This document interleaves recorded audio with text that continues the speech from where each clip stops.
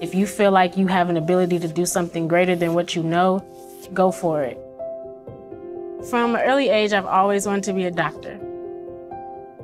The place that I grew up in St. Louis is not really the best. There's a lot of drugs, gang violence, but I didn't want to be a product of my environment. I wanted to break the cycle.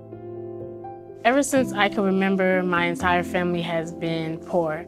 There was a time where my immediate family went without electricity for over a year and we were using the neighbor's generator. I didn't let that stop me from doing schoolwork. I found like a desk lamp or like a candle and I would do any type of homework. And not having much, we always found a way to make the best of it. Looking back, I realized those situations have really made me a stronger person.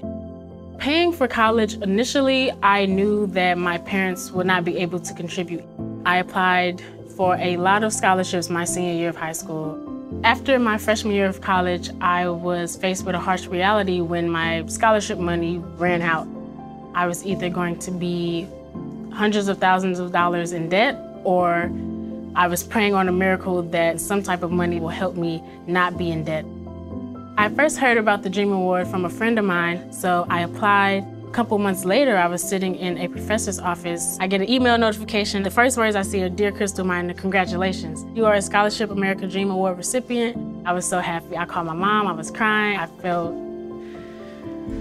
very relieved, like a weight had been lifted off my shoulders. And I think I went out that night.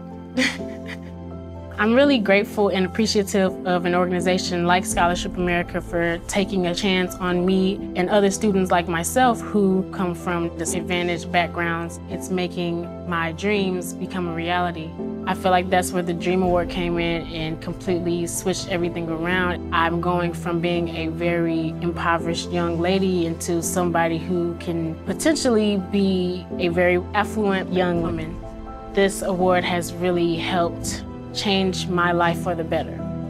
There's power in believing in yourself. I can and I will become a doctor.